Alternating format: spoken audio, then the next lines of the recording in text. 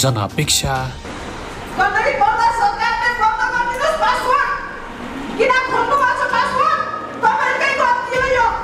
जनप्रतिनिधि बाटोघाटोको समस्या पानीको समस्या जनगुनासो वडा अध्यक्ष नि हाम्रै हुन्छ मेयर पनि सबै हाम्रै हुन्छ। हाम्रो हाम्रो काम गर्न सहज हुन्छ सबै एक नम्बरमा यो काम गर्छु भन्दा उहाँहरूले गरेका प्रतिबद्धता चुनावका बेलामा हामी समाजमा सुशासन विकास र समृद्धिका लागि गरिएका सत्प्रयास र सत्कर्महरूको उजागर कार्यक्रम विकासको बहस।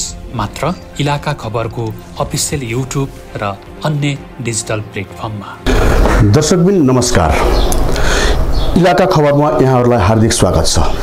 निरन्तर खोज र खबरदारीको श्रृङ्खला अन्तर्गत हामी आज विकासको बहसमा छौँ।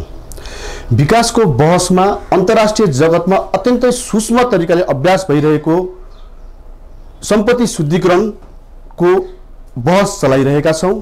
उक्त बहसमा हामीसँग हुनुहुन्छ नागरिक अभियन्ता तिलक रिजाल। कार्यक्रममा यहाँलाई स्वागत छ। धन्यवाद नमस्कार। यो अन्तर्राष्ट्रिय जगतमा अत्यन्तै सूक्ष्म अभ्यास भएको यो सम्पत्ति शुद्धिकरणको अवस्था नेपालमा के छ र किन गरिन्छ के का लागि गरिन्छ? आज तपाईँले यो महत्त्वपूर्ण प्रश्न राख्नुभयो जुन हाम्रो देश नेपालमा सम्पत्ति शुद्धिकरण निवारण ऐन अन्तर्राष्ट्रिय जगतमा मनी लाउन्ड्रिङ भनेर भनिन्छ। यहाँ पनि ऐन बनेको छ तर जसरी कार्यान्वयन हुनुपर्ने थियो त्यो कार्यान्वयन हुन सकिरहेको छैन। र नेपालमा पनि यो प्र्याक्टिस सुरु भएको छ। र जसरी तपाईँको यो प्र्याक्टिस हुँदै गर्दा जस्तै नेपाल नेपालमा भएका ब्याङ्क तथा वित्तीय संस्थाहरू सहकारीहरू यिनीहरूले शुद्धिकरण मार्फत जसरी तपाईँको कुनै व्यक्ति एउटा तपाईँको स्रोत खुलाउन जाँदै गर्दा कुनै अर्थ सापट्टिको अर्थमा कुनै तपाईँको कतैबाट त्यसरी पूर्ण रूपमा स्रोत खुलाएको पाइँदैन यसको अवस्था के छ? हाम्रो देश नेपालमा जुन दुई हजार चौसठी सालमा सम्पत्ति शुद्धिकरण निवारण ऐन जुन चाहिँ लागू भयो जुन जारी भयो त्यहाँ पछाडि केही प्र्याक्टिस भए तापनि पूर्ण रूपमा हुन सकिरहेको छैन। यहाँ चाहिँ बैङ्क तथा वित्तीय संस्था र सहकारीहरूले उनीहरूले आफ्नो बैङ्कमा आफ्नो सहकारीमा आफ्नो नगद धन राख्दा कहाँबाट त्यो धन आयो त? त्यो स्रोत खुलाउनु पर्थ्यो। त्यो स्रोत खुलाएर राख्नु पर्थ्यो। कसैले चोरेर ल्याएर पो राख्यो कि? कसैले लुटेर ल्याएर राख्यो कि? कसैले रा छली गरेर ल्याएर राख्यो कि? कसैले भ्रष्टाचार गरेर ल्याएर राख्यो कि? या कुनै आतङ्ककारी गतिविधिमा लागेर लाग्नको लागि ल्याएर राख्यो कि? के को लागि राख्यो? त्यो चाहिँ जुन रकम हो त्यो रकम कहाँबाट आयो? त्यो स्रोत के हो? त्यो स्रोत स्पष्ट नखुलाइकन राख्ने गरेको चाहिँ भेटिन्छ। त्यो सापट्टि भनिन्छ। सापट्टि मागेर बैङ्कमा लगेर त राखिँदैन। आवश्यक भएर मागिन्छ। जहाँ चाहिँ बैङ्कमा राख्दा सापट्टि भन्ने सहकारीले सापट्टि भन्ने यो सापट्टि भन्ने शब्द साह्रै सस्तो भएको छ यस्तो हुन सक्दैन। किन त भन्दा सापट्टि भएदेखि त त्यो जुन सापट्टि हो त्यो चाहिँ सापट दिने कुरा हुन्थ्यो। बैङ्कमा लगेर कसैले पनि राख्दैन। त्यसैले गर्दाखेरि यो चाहिँ बिना स्रोत राखिन्छ भने त्यो चाहिँ के हो त भन्दा सम्पत्ति आफूले बाहिरबाट गैर कानुनी ढङ्गबाट कमाएको जुन रकम छ त्यो रकमलाई शुद्ध गराउनको लागि लगेर राखिएको हुन्छ र त्यसरी राख्ने व्यक्ति पनि के हो त भने त्यो हाम्रो कानुनले अपराधी हो र जुन बैङ्क तथा सहकारीले बिना स्रोत त्यसरी राखिदिन्छन् भने ती बैङ्क र ती सहकारी पनि के हुन् त भन्दा ती पनि अब अपराधी हुन्। त्यस कारणले गर्दाखेरि पनि यो सम्पत्ति शुद्धिकरण गरेर मात्र जुन जुन यो जुन राख्ने गरिए जो गरिएको छ जुन सम्पत्ति शुद्धिकरण गरिएको छ यो चाहिँ एउटा एकदम अपराध हो। यो अशुद्ध सम्पत्तिलाई शुद्ध बनाइयो क्या। जस्तो नेपाल सरकारले अहिले यो अभ्यासमा लिँदै गर्दा जस्तै तपाईँको ब्याङ्कमा होइन वित्तीय संस्थाहरूमा जस्तै तपाईँको कुनै व्यापारी जस्तै अब निजी व्यवसायहरूले एउटा भौचर भन्ने चलन छ। त्यसमा तपाईँको स्रोत खुलाउँदै गर्दा कहिले तपाईँको त्यति राम्रो जवाब जस्तो जस्तो त्यो जवाब त्यति राम्रो टिप्पणी लेखेको त्यहाँ देखिँदैन। अब यी कुराहरूमा तपाईँको यो जस्तै अ, ब- कानुनका हिसाबले कुनै आज आजका दिनसम्म पनि यो ब्याङ्क तथा वित्तीय संस्थाहरूलाई यो ब्याङ्किङ मुद्दामा जस्तै तपाईँको सम्पत्ति शुद्धिकरणमा कुनै मुद्दा चलेको जस्तो अवस्था केही देखिन्न बाहिर आ- आएको देखिँदैन नि हो तपाईँले ठिक भन्नुभयो। जस्तै अहिले कतिपय चाहिँ जुन कि अब जग्गा लिलाम हुन्छ बैङ्क तथा वित्तीय संस्थाहरूले लिलाम गर्छन्। लिलाम गरिसकेपछि अर्को मान्छेले चाहिँ के गर्छ त भन्दा त्यो लिलाम सकाएर गर्छ क्या त्यो लिलाम गरेर लिन्छ। त्यो लिलाम गरेर लिने बेलामा त्यो बैङ्कले त्यो जग्गा लिने त्यो धन कहाँबाट आयो? खोज्ने कि नखोज्ने? त्यो सम्पत्ति चाहिँ शुद्धिकरण गरेर ऊ आएको छ। त्यस्तो अवस्थामा मुद्दाहरू परेका छन् र नेपालमा पनि के छ त भने सम्पत्ति शुद्धिकरण अनुसन्धान विभाग छ प्रधानमन्त्रीको माताहतमा छ यो जुन विभागमा उजुर गर्न सकिन्छ त्यो उजुर गरिसकेपछि त्यहाँबाट चाहिँ अनि अनि कारवाही हुन्छ यो चाहिँ चलेको छ कतिपय भएको छ। जस्तै तपाईँको अब ठुलो ठुलो रकमहरूको कारोबार हुन्छ नेपालमा जस्तै तपाईँको हाम्रो कतिपय कर्मचारीहरू हुनुहुन्छ उहाँहरूको सेलेरीको हिसाबले होइन? कुनै व्यापारी हुनुहुन्छ उहाँहरूको आम्दानीको हिसाबले ती सबै कुराहरू त तपाईँको कर कार्यालयमा होइन देखिनुपर्ने हो उहाँहरूले कहाँबाट ल्याउनुभयो विदेशबाट आएको भनेपछि रेमिट्यान्स अन्- अन्तर्गत आएको हुनु पऱ्यो ती भौचरहरू आफूसँग हुनु पऱ्यो तर यहाँ त तपाईँको एउटा सापटीको भरमा एउटा कसैको मान्छेसँग मागेको भरमा ढिगुरी खेलेको भरमा ती तपाईँको ब्याङ्कहरूले यिनीहरूलाई एकदम सुनपानीले छर्केदै गरेर शुद्ध शुद्ध हुने प्रचलन छ नि त नेपालमा। हो तपाईँले एकदम ठिक प्रश्न गर्नुभयो। यो चाहिँ कस्तो छ त भन्नुहुन्छ अहिले पनि यहाँ चाहिँ कतिपय कर्मचारीहरू कतिपय शिक्षकहरू र अनि अन्य गैर व्यवसायी पेसाकर्मीहरू जो जो छन् उनीहरूले बैङ्क तथा वित्तीय संस्थामा लगेर आफ्नो रकम जम्मा गर्छन्। आफ्नो आम्दानीभन्दा बढी जम्मा गर्छन् त्यो कहाँबाट आयो त? त्यो खोज्नुपर्छ कि पर्दैन? र त्यो वित्तीय संस्थाहरूले त्यसै राखिदिने ल लाँदा बित्तिकै। अन्त त्यसपछि गएर जब त्यसै लगेर राखिदिन्छन् शुद्ध बनाइदिन्छन् क्या? त्यस्तो जब गरिन्छ त्यो गरिसकेपछि यो समाजलाई भाँड्ने काम त यो बैङ्क तथा वित्तीय संस्थाले गरे नि त्यहाँ स्रोत नखोज्दिनाले त्यस कारण स्रोत खोज्नुपर्छ। र अनि त्यो स्रोत खोजै खोजेनन् भन्ने कुरो नेपाल सरकारले पनि नियमन गर्नुपर्छ। र अनि यो नियमन गरिएन भने यो के हुन्छ त भन्दा यो व्यथिति झन् बढेर जान्छ।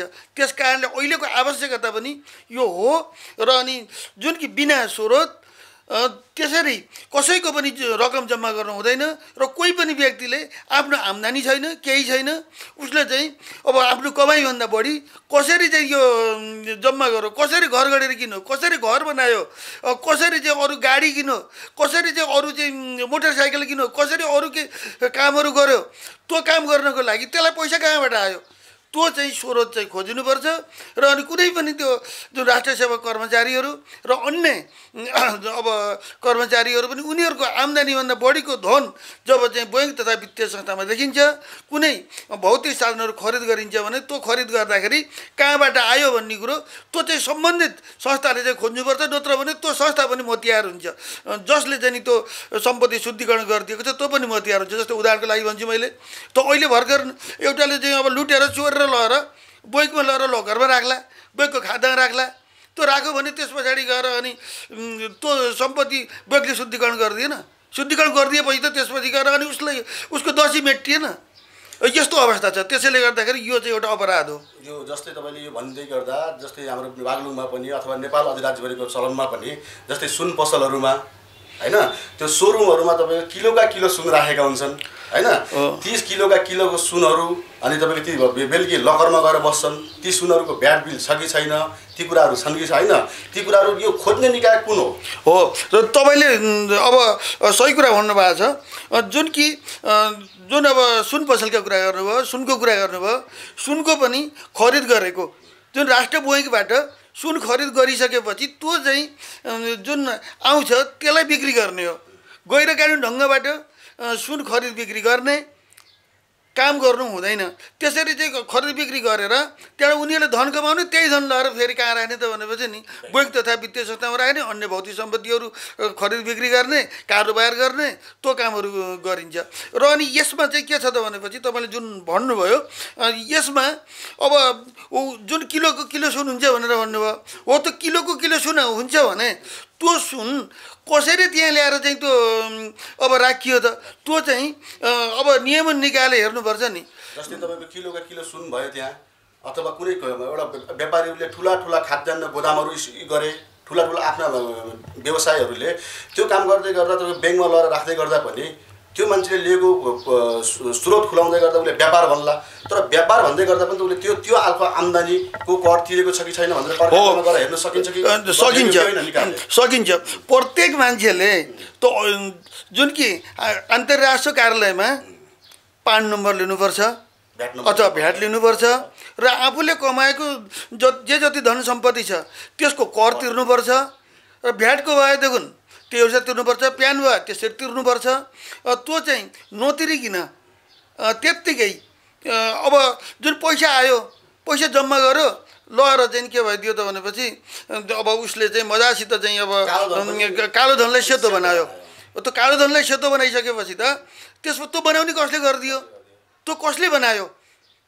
त्यो चाहिँ अब अहिले खोज्नु एकदम जरुरी। त्यसको लागि चाहिँ के गर्नुपर्छ त भन्दा पब्लिकले जनताले चाहिँ अब जुन सम्पत्ति शुद्धिकरण अनुसन्धान विभागमा मुद्दा दायर गर्ने मुद्दा पठाउने त्यहाँ गोपनीयता पनि राखिन्छ त्यो गोप्य पनि हुनुपर्छ राख्नुपर्छ।